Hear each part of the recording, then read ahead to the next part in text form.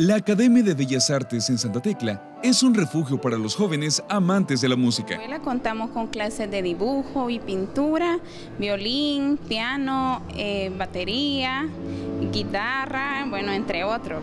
Como requisito no tenemos ninguno, solo más que todo la disposición de cada uno de los alumnos, ¿verdad? Por querer aprender una parte del arte y pues hacerse presente en la escuela. Sin embargo, esta no es la única opción de aprendizaje que ofrece este lugar. Bueno, la clase principalmente es de dibujo, este, eventualmente también damos clases de pintura para los niños de, que de 5 años hasta 14 años, ya después están los más grandecitos donde no hay límite de, de edad de 16 en adelante. El talento fluye dentro de estos salones que son testigos del progreso creativo de los estudiantes. He mejorado demasiado haciendo rostros, y también parte de pintura. Diría que si ven que tienen talento para hacerlo, que vengan y que traten de aprender un poco más y que para así desarrollar lo que su habilidad.